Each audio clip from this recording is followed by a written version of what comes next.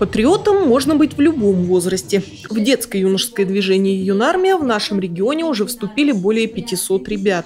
Во вторник его ряды пополнились воспитанниками еще трех военно-патриотических клубов.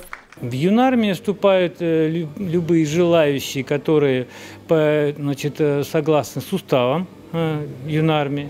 Вот. Как правило, это военно-патриотические клубы, спортивные клубы, краеведческие объединения, вот. то есть разноплановые. И мероприятия, которые проводятся в юнармейском движении, тоже разноплановые.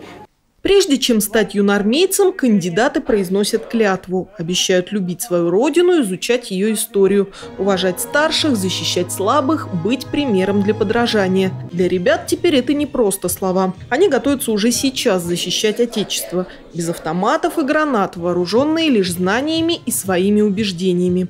Скорее тут нужно сказать о том, что защищать память нужно о том, о подвигах, которые совершили наши предки. И этим мы как раз и будем защищать нашу Родину. К такой ответственности школьники готовы, ведь еще перед вступлением в движение узнали, стать юнармейцем значит больше, чем просто надеть значок. Наталья Гутарина, Антон Осипов, РТВ Иванова.